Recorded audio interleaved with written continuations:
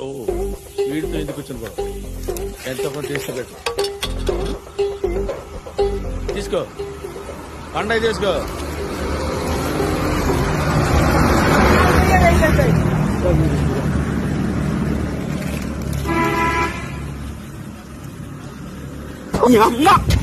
అన్నా సరే. నేను ఎన్నో మోసాలు చేశాను రా ఇలాంటి మోసం